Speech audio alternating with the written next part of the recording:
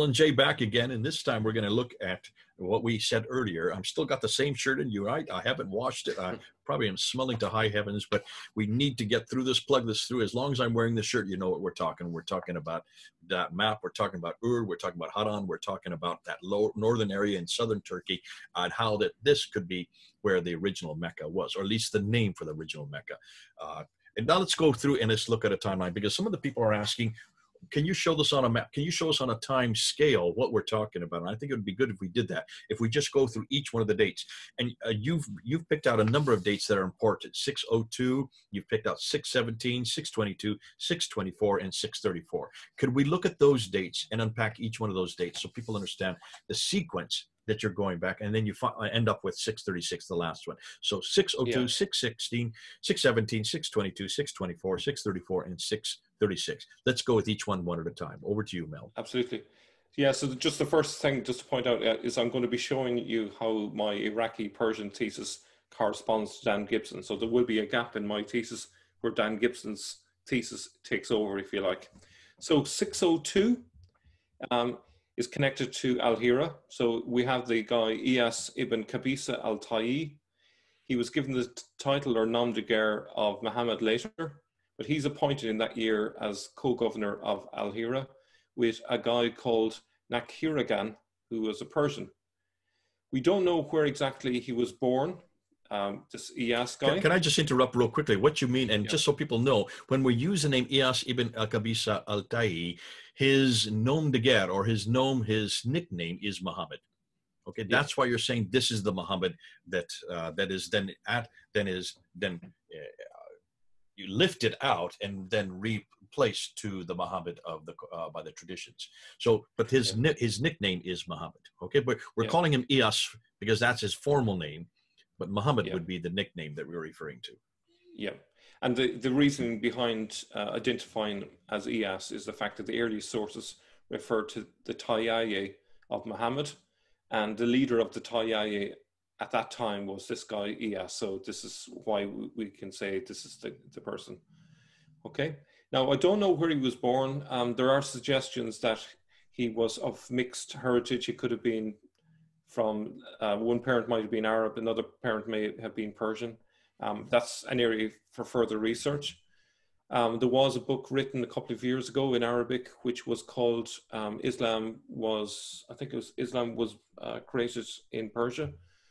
Um, and in that book, he, the, the author suggests that this very thing, that uh, I think it was the father's Persian, the mother was Arab. So that might explain this mixed identity that we seem to see in the sources. So moving on from there, then in 617, the Lakhmid And just ruler, for those who know, let's look at a map. Where is Hira? So we know where it is. Can you see where Al Hira is? It's real close to what is today Baghdad, just a little south of what is today Baghdad. Back then it would have been called Ctesiphon. Yeah. So in 617, the Lakhmid ruler Iyas ibn Qabisa was ousted from Al Hira by Azad Bey, and his Parsiks, which was a particular ruling class in Persia. And so the idea is that after being ousted, this would have led to him wanting to um, plot his revenge. Now, it's interesting, the early sources, strongly influenced by, uh, by the Islamic rulers, paint him as being still a friend of the Persians, still fighting on the Persian side. But if we think about this logically, there's no way someone who's been ousted would would still be all friendly, lovey-dovey with the Persians. So it makes a lot more sense that this is the trigger point where he now becomes the enemies of the Sasanians. So here is the key starting point. Now it's a bit messy uh, for the next few years because there are different groups fighting against the Persians. They haven't yet united, but this is really the the, point at which um, he gets involved in all of this.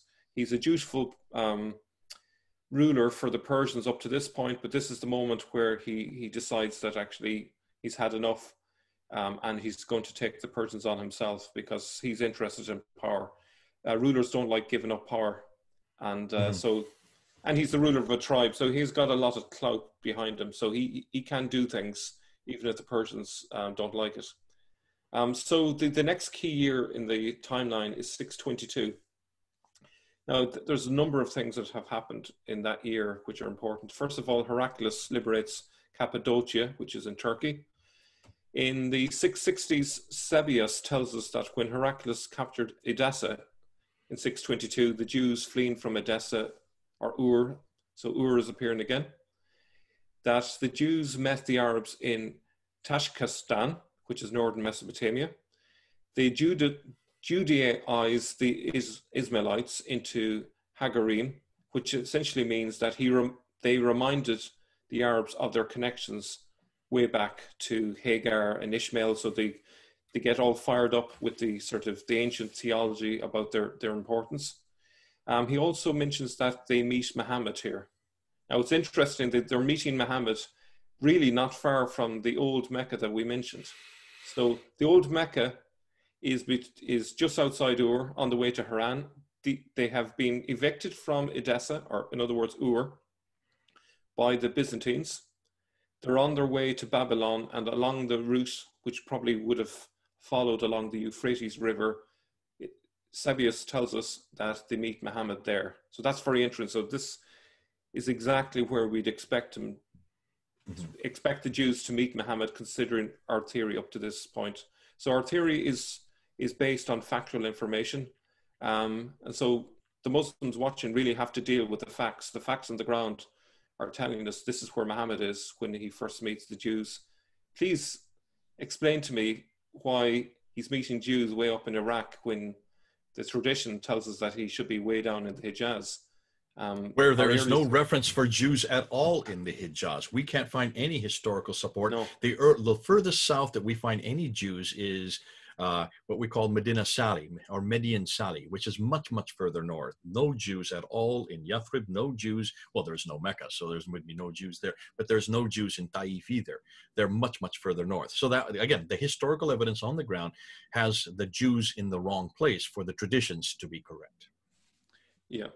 Now, the interesting no. thing is Sebeos. So Sebeos also says something uh, more about Muhammad when when the Jews met him he says that he gave rousing um, sermons of a, an Abrahamist flavor. So he's he's an expert in the Mosaic law, so that fits in with what we know about him. He's he's not illiterate.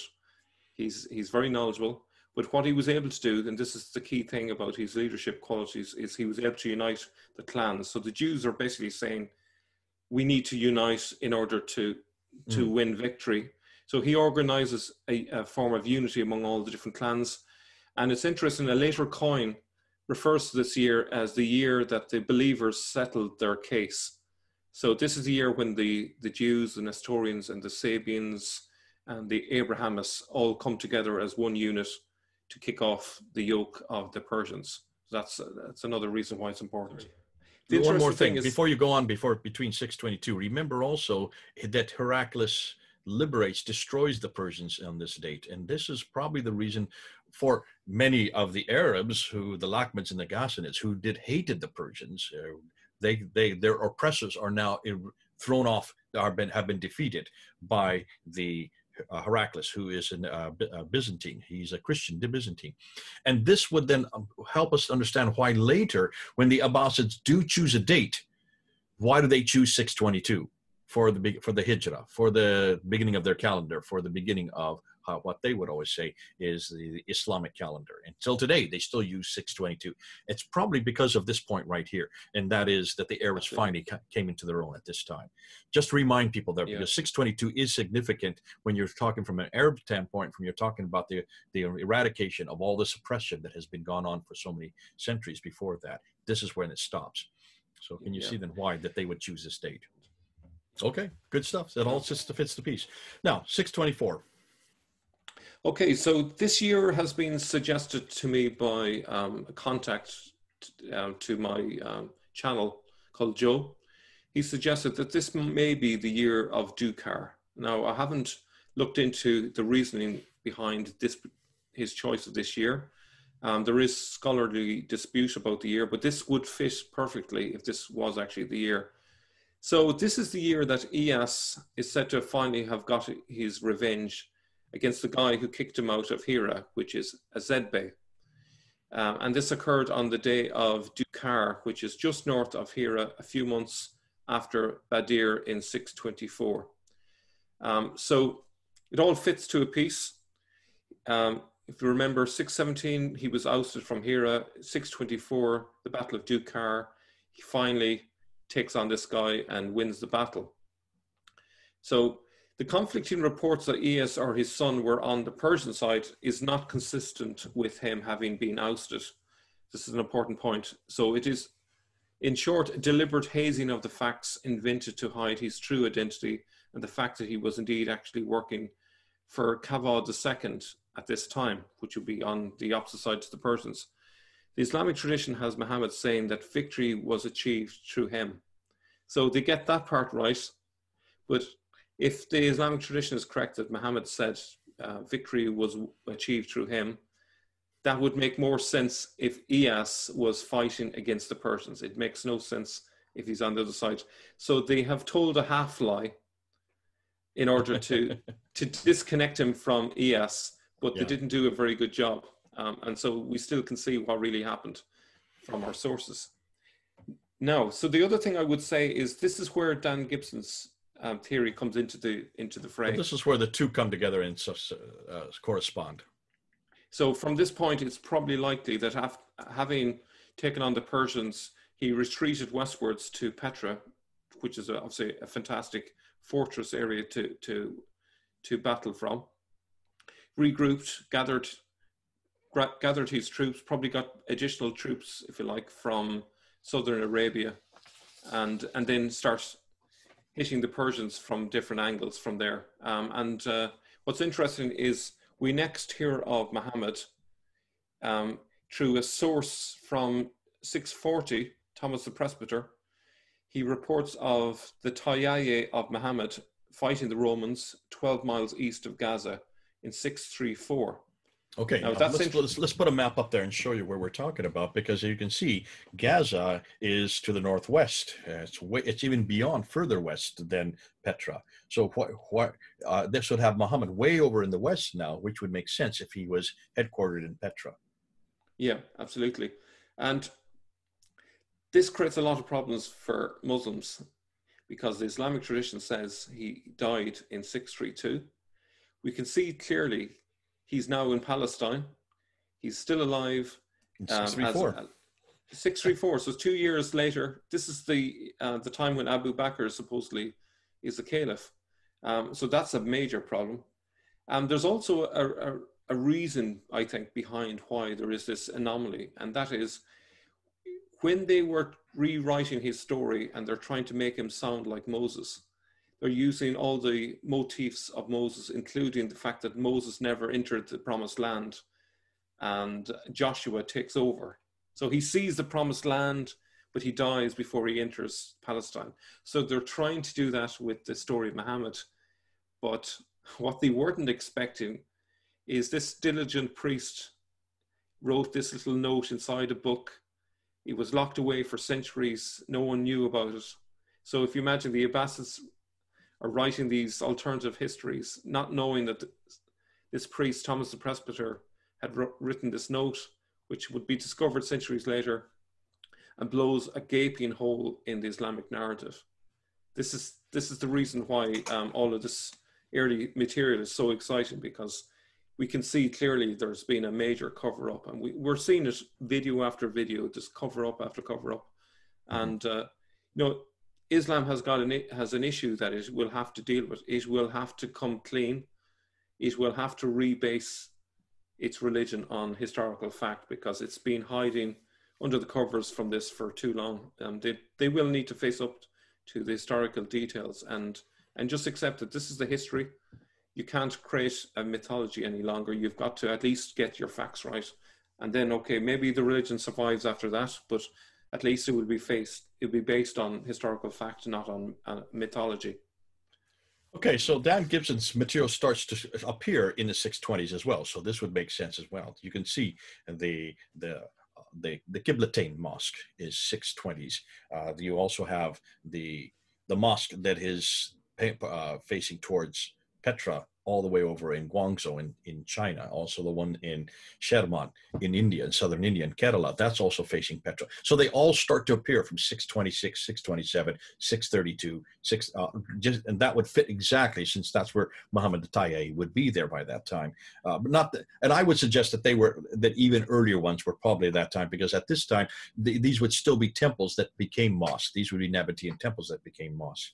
But thanks yeah. a lot. This has been terrific. What you have done is by by placing it in a timeline, by putting it the dates there, the timeline is there. Let me put the time up again, and there you can see. And 620, uh, 602 is Al Hira. That's when Iyas was made governor of Hira. Uh, then we jump to 617. That's where Iyas is then deposed. Uh, 622 is when Heraclius comes and liberates Cappadocia, and that starts the identity for the Arabs because now they are out of the oppression of the Sassanians. In 624, you have the Battle of Dukar, uh, where this Muhammad, this Ilyas ibn Qabisa has finally got revenge on the fellow that uh, threw him out there in Hira earlier in 602. And then he then moves to the west from that time. Possibly it looks like he's moving towards Petra, moves in, and then he has this big battle in 634 in Gaza, even further west, and then dies in 636, according to Thomas the Presbyter. So thank you. This is terrific. Getting it on timeline helps us to understand what we're now, what history is now telling us, not what the traditions are telling us. Because remember, the traditions are 9th and 10th century. They don't even have the right place. They don't even have the right time. They don't even have the right man. That's why it's so mm-hmm. good to go back in history. Mel, you've got us the right man, and you've got us now in a timeline to see how it all fits together. This does not confront what Dan Gibson is saying. It actually complements what Dan Gibson is saying. God bless you. Absolutely. It's so good to have you. Okay, this is Mel and Jay uh, uh, putting into yet another chapter and another nail that starts to go into this coffin. God bless you. Do do your comments down below. Please get them in there. We need to see them. We need to hear your reaction. And we'll haul Mel back again to answer your questions. right. Mel and Jay, over and out.